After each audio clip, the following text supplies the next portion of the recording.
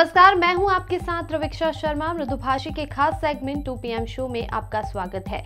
चलिए रुक करते हैं देश प्रदेश की बड़ी सुर्खियों की तरफ़। केंद्र सरकार ने छोटी बचत योजनाओं में ब्याज दर कटौती का फैसला वापस ले लिया है।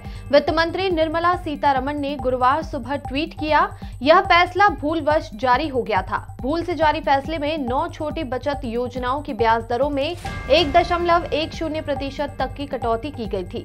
इस फैसले में पीपीएफ सुकन्या समृद्धि योजना, Kisan Vikas Patra, senior citizen saving scheme, national saving certificate, monthly income scheme, time deposit recurring deposit और बचत खातों में जमा पैसों पर ब्याज दरें कम कर दी गई थी। अब इन बचत योजनाओं में लाभार्थियों को पहले की तरह ब्याज मिलता रहेगा।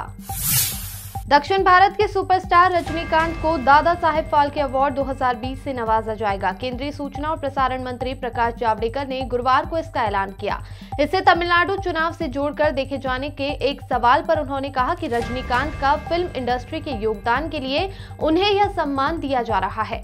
इसका चुनाव से कोई लेना देना नहीं है। दरअसल, तमिलनाडु में छह अप्रैल को विधानसभा चुनाव के लिए वोटिंग होनी है। रजनीकांत का राजनीति में आने का सपना अधूरा ही रह गया।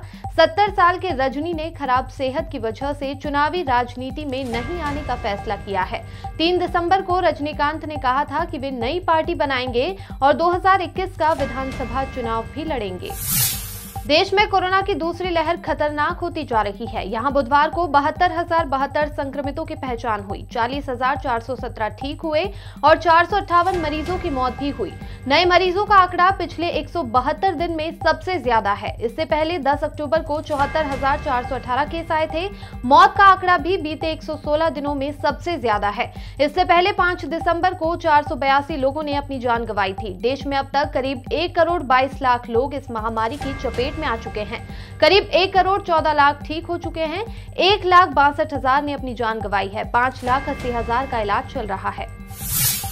विंध्य प्रदेश की मांग को लेकर मैहर विधायक नारायण त्रिपाठी ने एक बार फिर अपनी बात रखी है।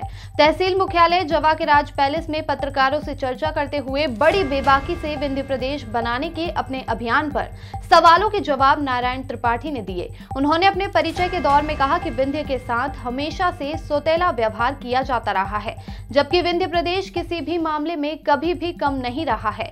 यहाँ धार्मिक एवं पर्यटन स्थल तथा उद्योग कारखाने सहित प्राकृतिक प्रदत्त अपार खनिज संपदा से परिपूर्ण है।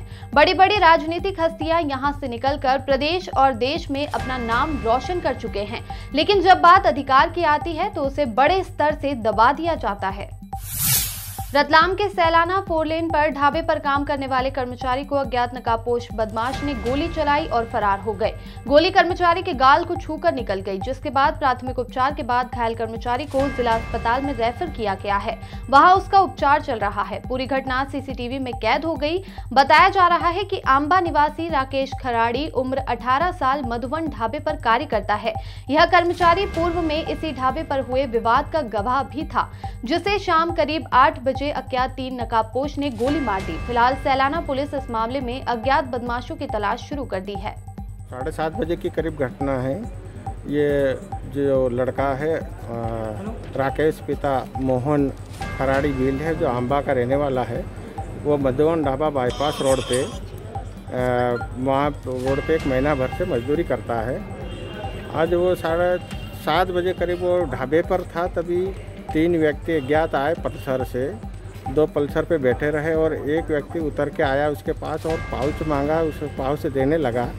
इतने में उस व्यक्ति ने